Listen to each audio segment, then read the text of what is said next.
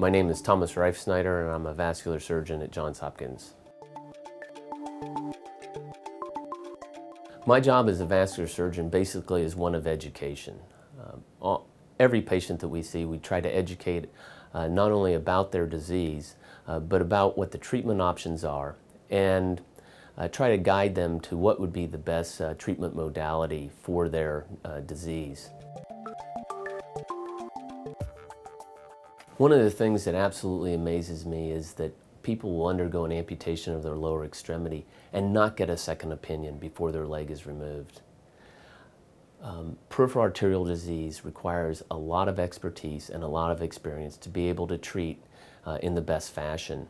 I frequently get phone calls from physicians and family members of patients uh, telling me that their uh, loved one is going to require an amputation. And when I see those patients as a second opinion, frequently the repair or the, or the necessary surgery to save that limb is not as is easily done and something that uh, can absolutely change the patient's life. It's much better to undergo a fairly significant operation and save a limb than it is to undergo an amputation. Many surgeons and many physicians out there believe that an amputation solves the problem. You can get an, a prosthesis and you'll be able to walk again and you don't have to undergo multiple procedures to try to save that limb. Most patients can actually undergo one or two sophisticated operations and save a limb, which will absolutely change their life.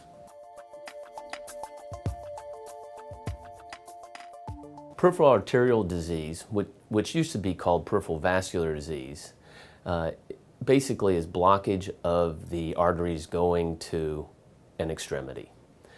Technically, it could involve blockage of arteries going to the arm or hand, um, but that's uncommon.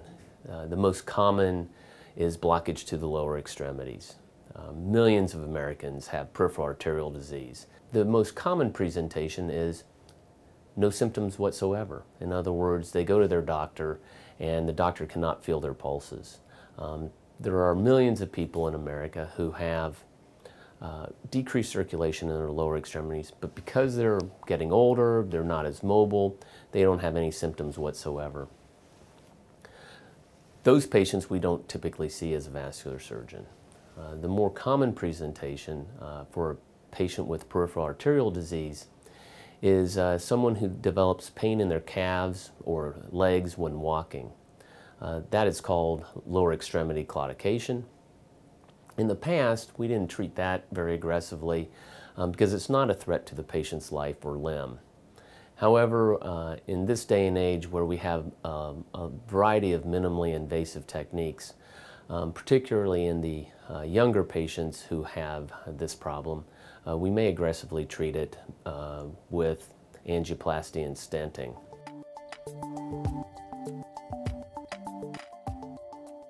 The risk factors for peripheral arterial disease include smoking, diabetes, high cholesterol, and one that we don't really think about, but just aging. Uh, as people get older, their blood vessels tend to wear out. Peripheral arterial disease is manifested most commonly as no symptoms whatsoever. Uh, the the uh, patient gets a routine physical examination and the doctor uh, can't feel pulses. Um, unfortunately, a lot of Americans don't exercise enough, and if you don't exercise or don't walk very much, then there's not a large requirement for blood flow to the legs, and so you could have peripheral arterial disease and not know it. The most common symptom for peripheral arterial disease is what we call lower extremity claudication.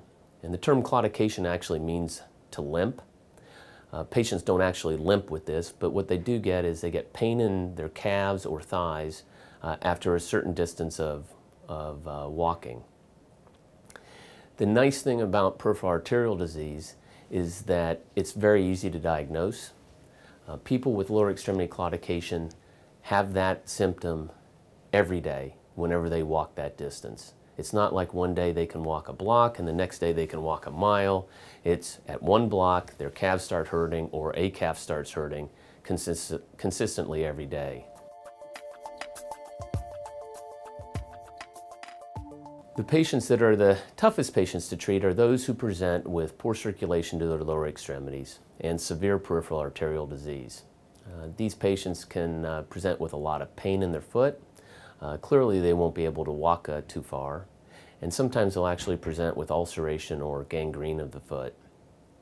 These people uh, clearly are uh, clearly need to be treated and um, or otherwise they could end up uh, losing the function or, or actually losing their uh, leg.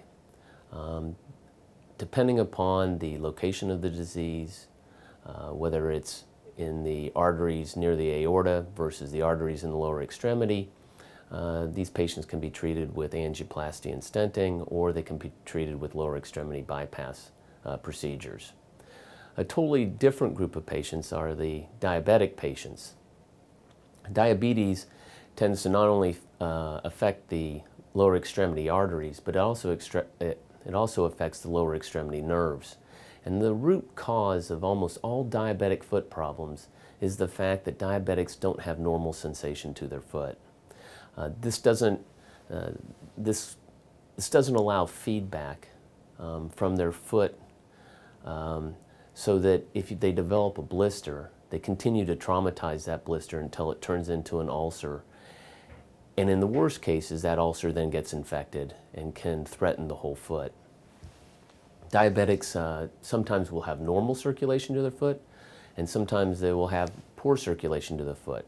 So treatment of the diabetic ulcer of the foot really depends upon um, whether or not it's infected, and then whether or not the patient has uh, poor circulation. Uh, the treatment of the diabetic foot problem uh, can involve um, just local wound care. It can involve um, uh, partial reconstruction of the foot or partial amputation of uh, toes, toe or toes of the foot, and or it might involve restoring normal circulation depending upon the situation.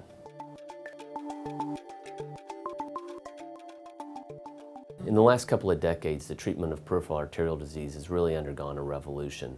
There have been a large number of uh, minimally invasive techniques that have um, that have really become quite common and are quite widely available across the United States. And what I'm talking about is angioplasty and stenting. Angioplasty is inserting a balloon into a blood vessel and opening up the balloon and therefore opening up the uh, blood vessel. Years ago, you might do angioplasty on a blood vessel that is narrowed um, but only narrowed over a short distance. Nowadays, the techniques are available where we can actually take totally blocked up uh, blood vessels and be able to reopen them. Generally, this, this also involves uh, putting in a stent, which is a sort of a metal scaffolding that sort of looks like a Chinese finger trap. And that helps keep open uh, the artery over a longer period of time. In the worst cases, uh, the patient would need a lower extremity uh, operation or lower extremity bypass operation uh, to be able to restore the blood flow. The concept is really very straightforward and very simple. Uh, you have a blockage and you need to bypass from above the blockage where the circulation is still normal to below the blockage uh, where the circulation has been reduced. Uh, so the idea is very straightforward. The actual surgical part can be a little tricky at times. Um, and most of the time what we do is, is we create a new blood vessel uh, out of the patient's own vein. So you're taking a vein, which normally carries blood to the heart, and making it into an artery which now will be supplying blood to the extremity. As with most uh, procedures in American medicine nowadays, we've gone to uh, more minimally invasive techniques. Uh, and in vascular surgery, minimally invasive techniques involve angioplasty and stenting, or reopening blood vessels with a balloon or a, a, little metal stent or scaffolding to keep the blood vessel open. The real advantage to these uh, procedures are that they're minimally invasive and therefore are low impact on the patient. Most of these procedures are done as outpatients. Uh, they can be done under local anesthesia with just a tiny bit of sedation and generally take one to two hours to perform. Uh, the patients then are are recovered for only an hour or two, sometimes three or four hours, and then can go home that same day. Most patients really feel nothing uh, other than maybe a little soreness at the uh, site where the procedure is done, uh, which will go away in a couple of days, and basically can re resume normal or more activity than previously within a day or two. Johns Hopkins has a wealth of experience in treating lower extremity arterial disease or peripheral arterial disease. Uh, over the last decade, uh, Johns Hopkins has added uh, two new uh, endo suites, which are operating rooms that where you can not only perform angioplasty and stenting, but also uh, operating rooms where you can do open operations, or you can combine those two uh, techniques. The new Johns Hopkins Hospital will be, will be opening, which has even uh, more uh, sophisticated facilities for the treatment of peripheral arterial disease. I think the most important uh, aspect of the treatment of peripheral arterial disease is having a, an experienced surgeon taking care of you. Uh, it's not only the techniques involved, but it's the decision making that is most, in, most important uh, aggressive treatment of lower extremity arterial disease will result in limb salvage and maintain the ambulatory status of the patient.